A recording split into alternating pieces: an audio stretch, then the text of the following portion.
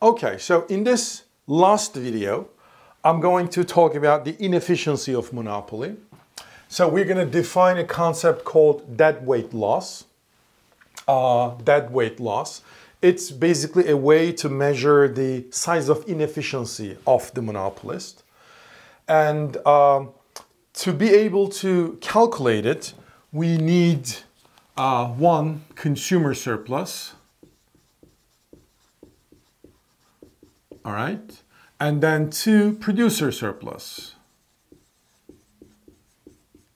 So I'm going to denote consumer surplus as CS, the producer surplus as, oops, PS, okay? And then there's a third notion, the total surplus, by the way, total surplus. It's uh, TS, and by definition, it's equal to consumer surplus plus, plus producer surplus. Okay? So what is the dead weight loss? Well, in order to calculate dead weight loss, you first have to calculate the total surplus in the competitive market. All right? And then you calculate total surplus in the monopoly, subtract them. The, the first one is going to be bigger than the second one. So therefore, this is going to be some positive number. This is how we calculate dead weight loss. So what is the total surplus of the competitors? All right, so TSC is the total surplus of the competitive firm. Well, it is the consumer surplus on the competitive market plus producer surplus on the competitive markets. All right. Well, what about the total surplus under monopoly? Well, it's the consumer surplus under monopoly plus producer surplus under monopoly. So the consumer surplus, producer surplus, all those will change and therefore total surplus all those will change as we change the market structure. All right? And for that reason, the total surplus under monopoly and under competitive firm, they're not going to be the same. Okay. So, first thing first, maybe, what is consumer surplus? Uh, whether it's competitive or monopolist, doesn't matter. The consumer surplus is basically the difference between the consumer's willingness to pay and the actual price they pay. All right? Let me repeat. The consumer surplus is the difference between the consumer's willingness to pay minus the actual price they pay. The producer surplus is the uh, difference between the, the, the actual price the seller receives minus the producer's willingness, the, the, the, the, the price that the sellers are willing to sell. So, therefore, by that definition, the consumer surplus is always the area between the demand curve and the price line. And the producer surplus is the area between the price line and the supply curve. All right? So, one thing that is very critical the willingness to pay. It's something that, as a consumer, I am willing to pay for something if I buy it. All right? So, it's, it's kind of a measurement of utility.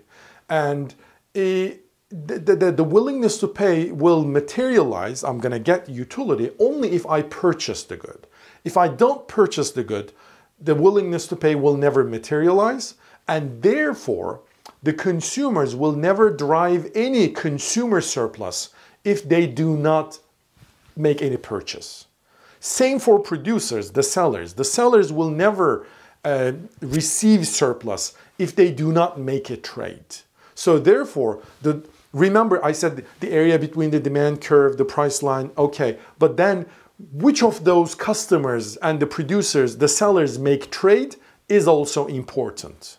Hopefully that's gonna come clearer when I talk on this graph. So what is the consumer surplus and the producer surplus on this graph? Remember, this is the basically the, the graph that we compare the monopoly and competitive market. So the marginal cost curve, the demand curve, marginal revenue of the monopolist. This is the price for the competitive firm. This is the output for the competitive firm.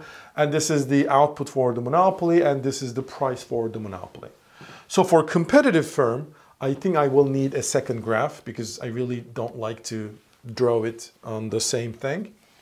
Um, so the, the, the consumer surplus in a competitive market is the area between the demand curve and the price line. All right, so all this triangle is the consumer surplus under competitive. What about the producer surplus? Well, here again, think of the marginal cost curve as the producer um, supply curve. So therefore, this, well, it's not really triangle because the marginal cost is convex. Triangle-like area is the producer surplus.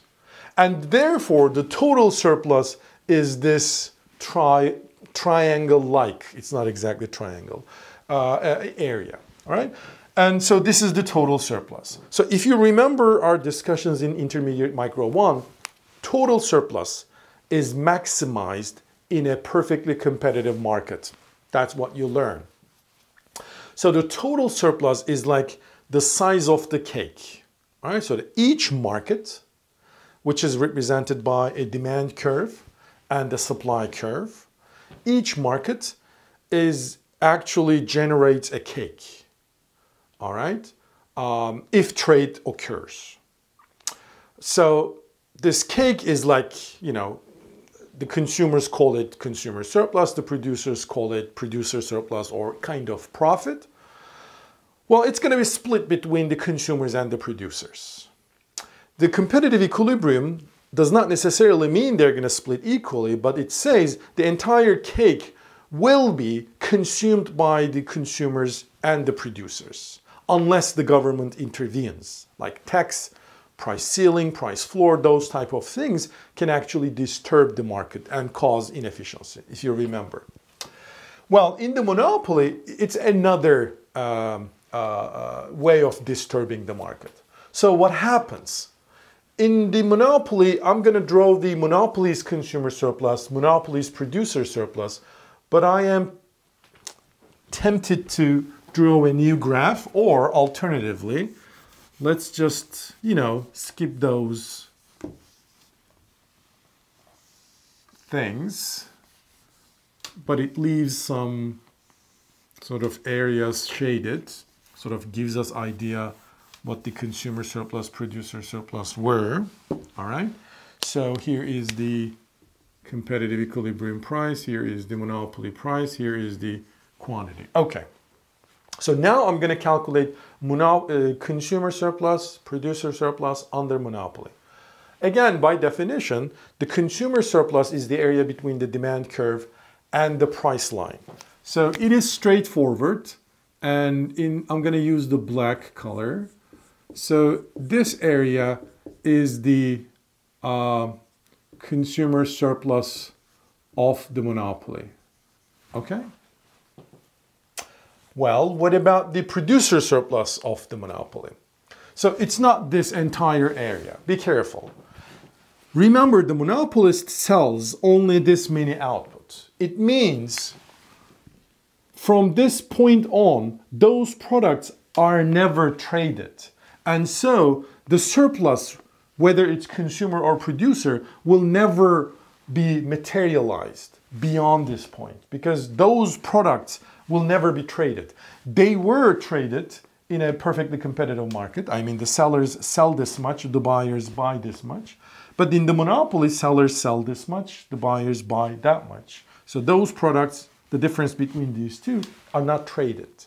All right? So therefore, there is no surplus out of those products. So you have to ignore this area.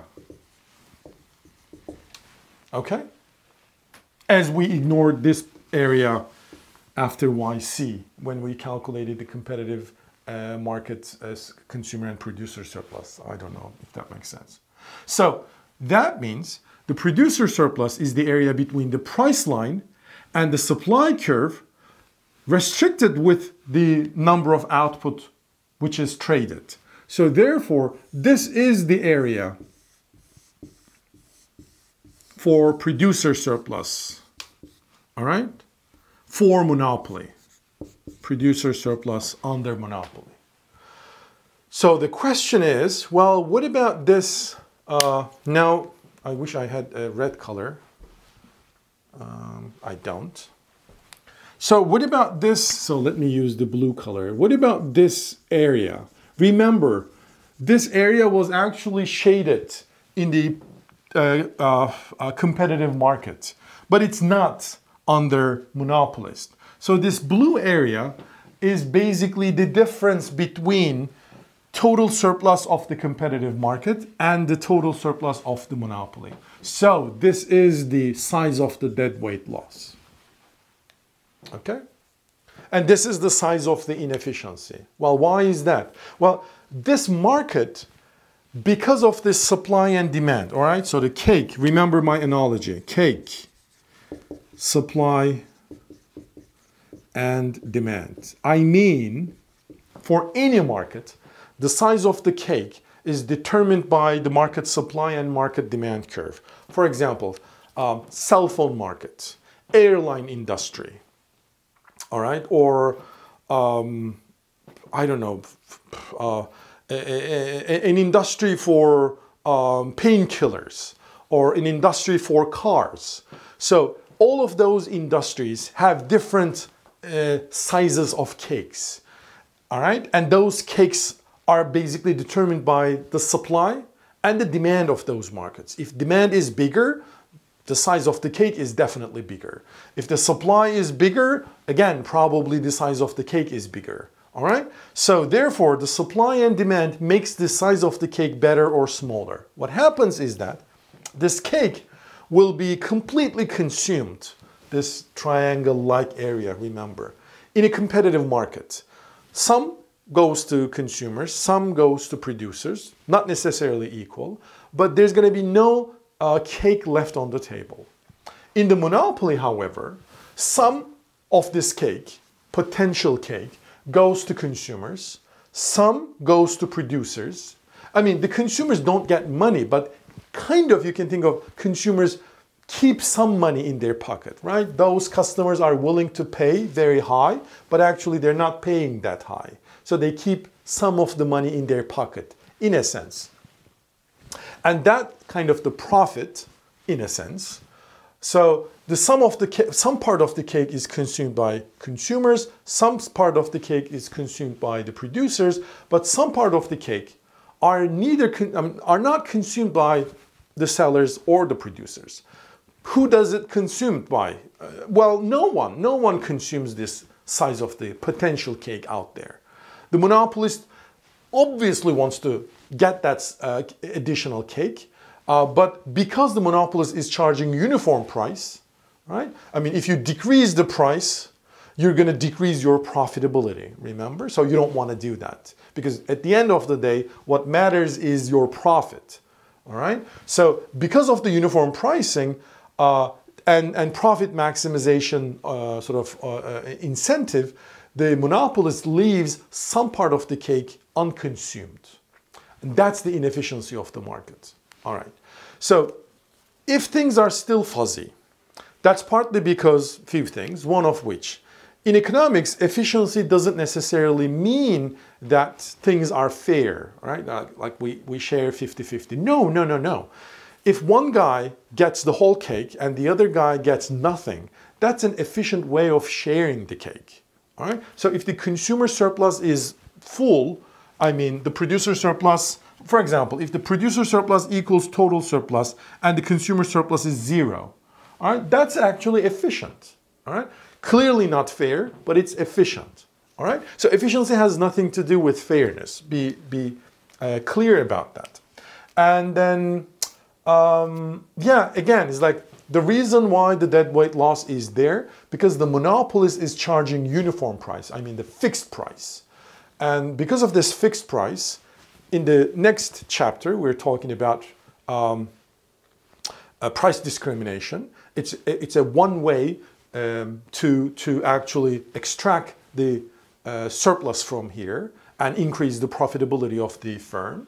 All right, I, I think it's an interesting chapter. So because of the uniform pricing, and because the monopolist would like to maximize this area, the profit, it just finds it uh, beneficial for itself to leave some cake unconsumed and left on the table. Okay? Um, so we better do a numerical example, which is uh, what's coming up next. All right?